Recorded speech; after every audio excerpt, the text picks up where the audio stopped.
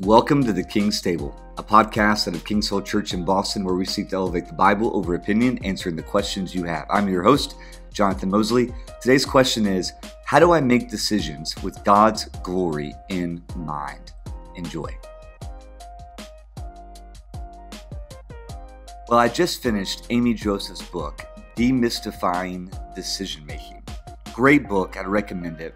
Some of this podcast will come from me some of it will come from her. So you could think of this podcast as the Spark Notes version to that book. But in her book, she talks about this unseen dashboard that we all have when it comes to making decisions, especially big ones. And on this dashboard, there are different gauges. I want to list them out here because I think this is a great visual for the reality that's happening in our hearts and minds as we think about what actions to take. So she mentions four gauges. Within our dashboard, there is a cultural gauge.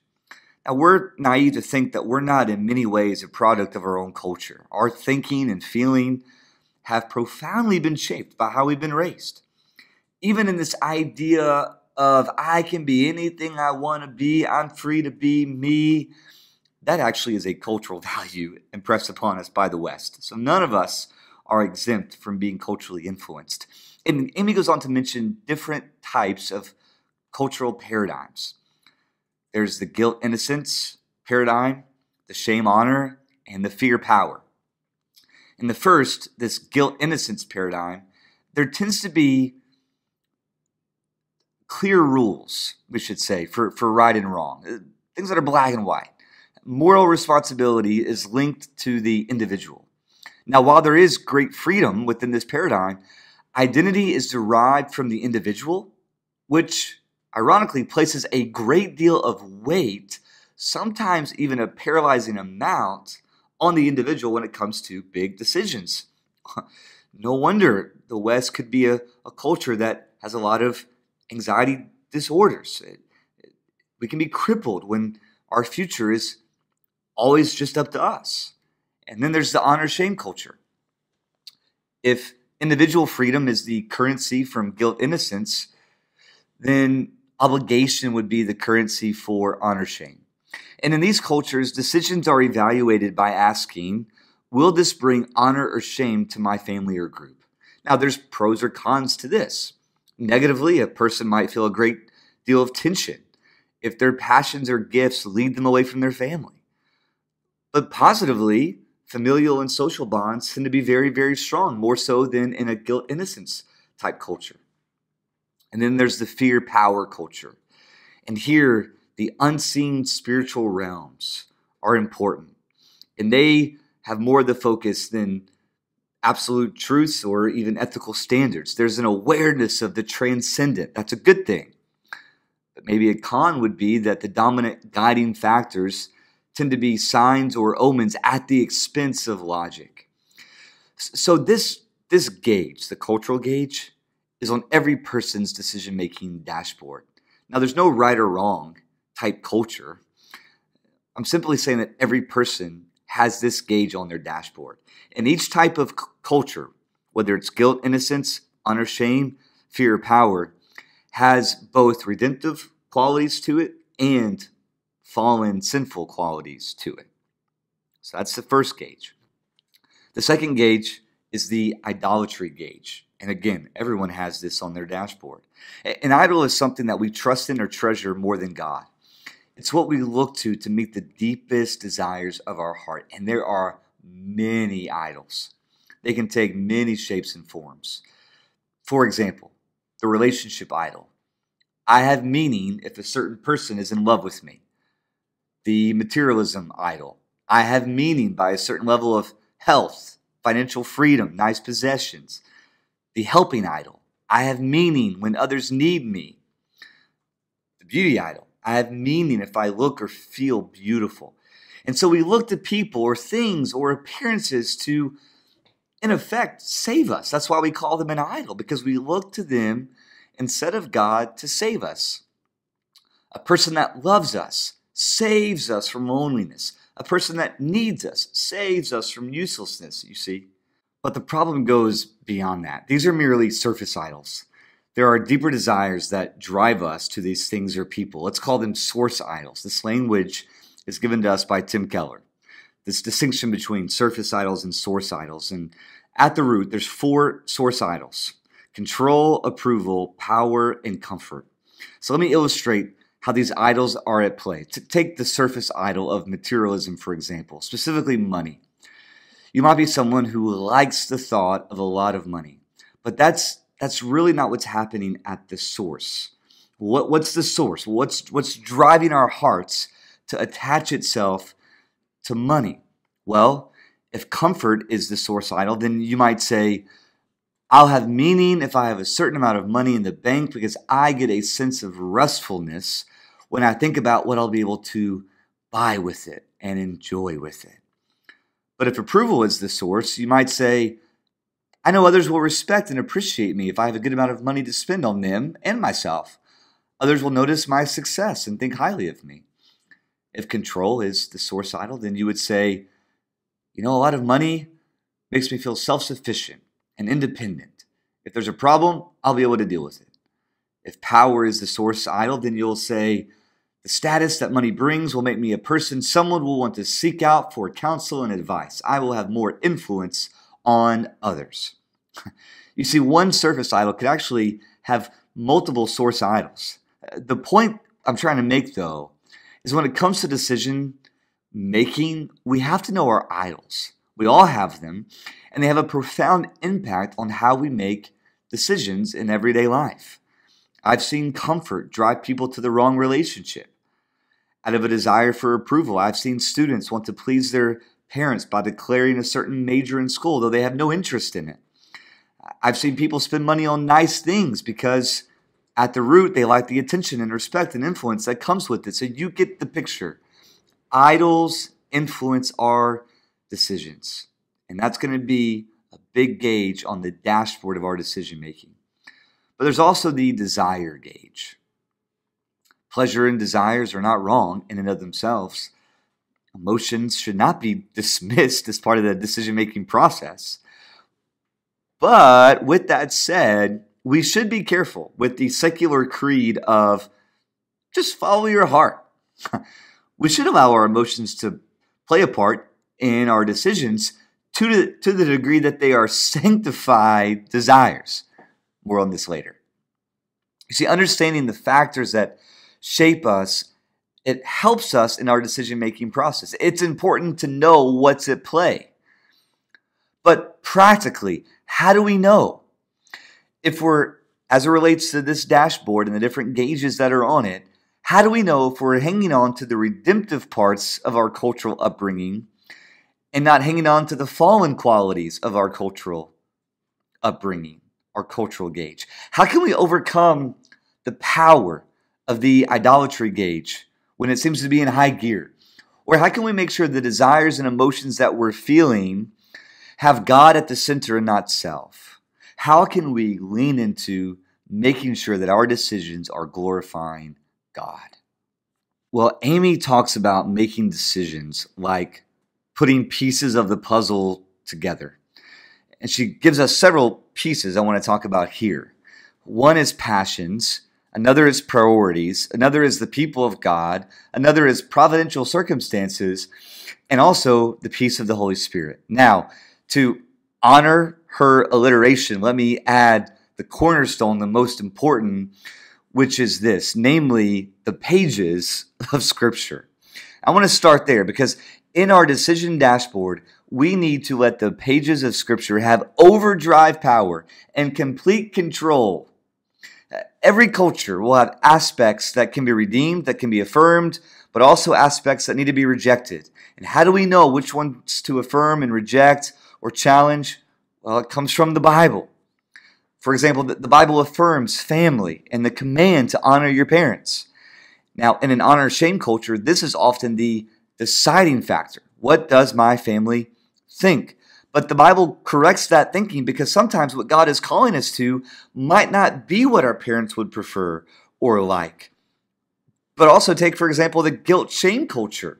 Their autonomy, independence, are driving influences, which is not bad, but the Bible corrects that thinking too. because decisions should not be made in a vacuum. They should be done by consulting godly counsel. So the pages of Scripture help draw out the strengths and faults of our own cultural biases. Uh, the pages of Scripture also sanctify our desires. They train my desires to follow God. Consider the words of Paul in 2 Timothy chapter 3, verses 16 and 17. All scripture is breathed out by God, profitable for teaching, for reproof, for correction, for training in righteousness, that the man of God may be complete, equipped for every good work. Here's, here's an illustration. Say I, I just adopted a puppy. For me, it's going to be a, a mini husky. And I want to take him on a walk with me around the city of Boston. Am I going to put that dog on a, le- a leash? You better believe it because I, I can't trust that dog to follow me yet. That dog will run right out in the middle of the street. No, I need to make sure that that puppy matures, learns the master's voice. That puppy needs to be trained. Now, when it comes to my emotions, to my desires, God intends for them to be used when it comes to making decisions, but we need to make sure that they've been informed, influenced, molded, dare we say, trained by Scripture. All Scripture is breathed out, trains us for righteousness. This means that I am allowing my heart to be steeped in Scripture. Heart formation does not happen without making Scripture a close friend, without spending time in the Bible. If you think of a XY axis, if you could visualize with me, the X axis being what is urgent, the Y as being what's important. Whatever is urgent tends to get our attention. Sometimes it gets our attention even when it's not important, right? The, the tyranny of the urgent principle is a real thing. But tending to the important, even when it doesn't seem urgent, is vital. I think oftentimes Bible reading is in this category. We don't necessarily take it as urgent. We should, but we don't always take it as urgent but it's extremely important. The small daily decisions of reading our Bible form habits, and habits shape our lives so that we're ready and prepared to make big decisions when they come. We cannot follow the will of God without knowing the Word of God. So, the corner piece, so to speak, as we think about the puzzle pieces to pull together as we aim to make decisions that glorify God, is actually knowing what glorifies God revealed to us in the pages of Scripture. Secondly, another puzzle piece that we're thinking about would be our passions. We're taking inventory of how God has gifted us, the passions God has given us. God has made us each uniquely with a purpose. The fact that I enjoyed playing sports growing up while my wife enjoyed playing instruments, that difference is not bad. One's not better than the other. Different is just different. God has made us with diverse interests. He's bestowed on us diverse gifts, designed us with diverse passions. And we should take the way God has crafted us and made us into consideration when it comes to making decisions.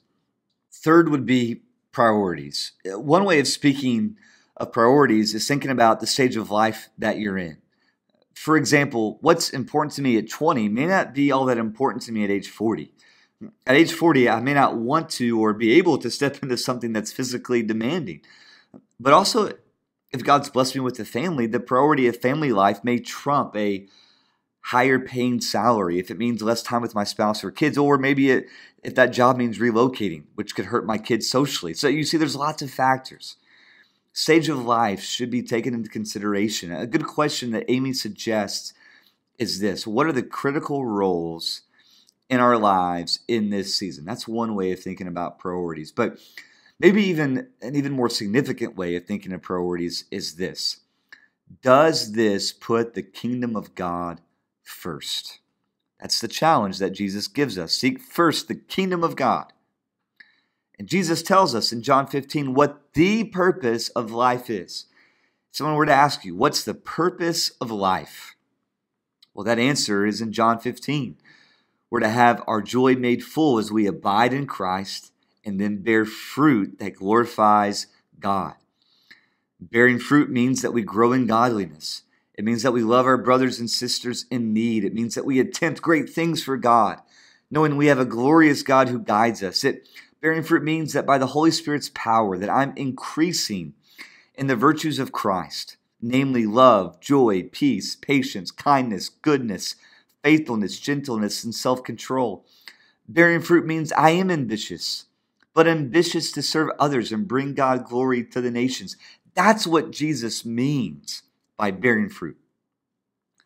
Now, what might be some questions that have God's kingdom in mind? Questions that aim to put the kingdom first. I'll give you several. And be honest, it's probably a different metric you're used to.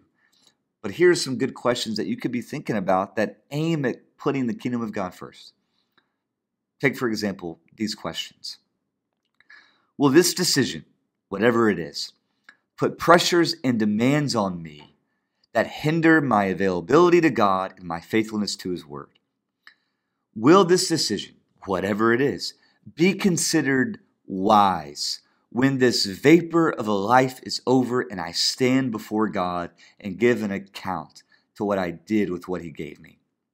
Does this decision open me up for greater gospel impact? How will this decision play a part in the growing of my holiness? Now, to be more specific, say it's a decision over a job. Questions you might ask would be Will the environment of this job and its activities shape me, or will I be able to shape it in ways that make much of Christ? What's the spiritual climate of the city with, with which I might move to, depending on the job offer? Is that place reached with the gospel? And if it is really reached with the gospel, have I considered another location where there might be a greater gospel need? How am I choosing housing if I stay or go somewhere? Is it close to the church that I'm going to be a member at? Are there good opportunities to interact with my neighbors? Is this job open to me sharing my faith or starting a Bible study? So, those are specific kingdom first questions as it relates to a job. What about a relationship? Well, some questions you could ask would be Does this person have a willingness to do whatever the Lord asks, whatever the Lord says to do, however the Lord says he wants it done? Will this person be a sparring partner for me, forever committed to sharpening me to grow in Christ likeness? Does this person take the picture and roles of marriage presented in Ephesians 5 seriously? So these are examples. But basically, what I'm saying is, am I making a decision that aligns with the priorities of God? That's the point. What are the priorities of God that are laid out in Scripture? Well, my holiness, the evangelism of the lost, my connection and involvement to the local church, and the exaltation of Jesus. When I'm thinking about making a decision, am I thinking about those things? Because that's the priorities that God in His Word lays out for me. Fourthly, another piece of the puzzle when it comes to making decisions would be the people of God. We say a lot at Kings Hill the people of God and the Word of God keep us close to God. God has designed it so that His wisdom that He wants to give us comes from the fountain of Scripture, but also from His people that have the Holy Spirit inside of them. We need to have people in our lives that we can seek counsel from in times when we face big decisions. Can we not be an update person? Instead, can we be a feedback person? Maybe you're asking, what's the difference? Well, an update person goes to their mentor, goes to that friend that they deem godly, and they say to them, Hey, just want to give you an update. I've decided to do this. but a feedback person says, Hey, this is what I'm thinking about. Am I missing anything? What do you think? You see, a feedback person invites the wisdom of God into their lives. You see, often we have blind spots in our decision making process. There are idols within our hearts buried deep, and we need mature, seasoned, Jesus loving mentors and friends to inquire, to probe, and yes, even at times challenge us. God has given us a community as a safety net for the big decisions that we make. After all, we're told that there is safety in an abundance of counselors. Proverbs 11, 14. I need people who know me. my weaknesses, my defaults, my sin struggles, and at the same time know and love and cherish the gospel. And to know those people that are able to apply the scripture to the hearts of people. They're, in essence, gospel fluent because they know how to speak the gospel to temptations, struggles, circumstance, future decisions. Amy, in her book, calls these people trusted trespassers. in other words, you give them permission to ask the hard questions, to share the truths that sometimes we don't want to hear. We intentionally invite them into praying and fasting, not after a decision has been made, but to help us seek an answer to a decision that we're after. And ideally, these would be people of different backgrounds and life seasons. Fifthly, as it relates to putting the puzzle pieces together when making decisions that glorify God, looking for providential circumstances. Put simply, do we sense that God is opening a door or closing a door? Have you been able to trace His guidance on what you feel He's asking you to do? Is there a subtle peace that God has said no or yes by the subjective reality of your circumstances? That's what we mean by providential circumstances. It doesn't mean that every open door is the right one, nor does it mean that it's not God's will to soon open a closed door after a prolonged season of waiting or time of prayer. But it does mean when we say by when we say providential circumstances, it means that we can say with conviction, God, it really seems that you're lining things up here for me to move forward in faith in this direction. That's what we mean by providential circumstances. And finally, sixthly, that final piece of the puzzle when it comes to making decisions do we have peace from the Holy Spirit? Now, I want you to notice that I've listed this last.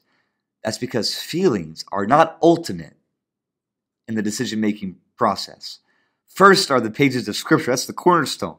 And from the pages of Scripture, we're told what the priorities of God are.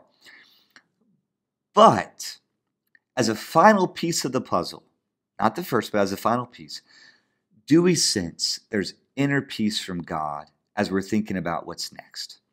When I'm considering a yes or no to a decision that's in front of me, do I feel more a desolation, a, an anxiousness, a despair, or do I feel a consolation, a, a comfort, an ease? Now, not ease of circumstances, not ease of the road God's calling me to walk down, what I'm talking about here is a, consolation, a comfort of the soul. It means that as I weigh an option, and I'm, I'm, I'm chewing on if I were to say yes to it, or I'm chewing on whether I'd say no to it. One way or the other, do I feel a sense of resoluteness or assurance by the Holy Spirit to which path He's asking me to take? That's what we mean by the peace from the Holy Spirit.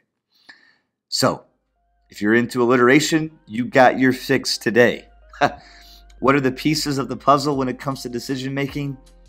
The pages of Scripture, the priorities of gospel advancement, the people of God, providential circumstances, and peace from the Holy Spirit.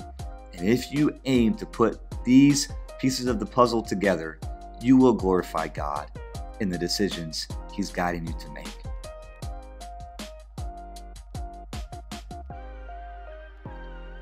Hope you've enjoyed today's discussion around glorifying God in our decisions. Glad you could join us at the King's Table. If you'd like more information or resources from King's Hill Church, you can visit us online at www.kingshillboston.com.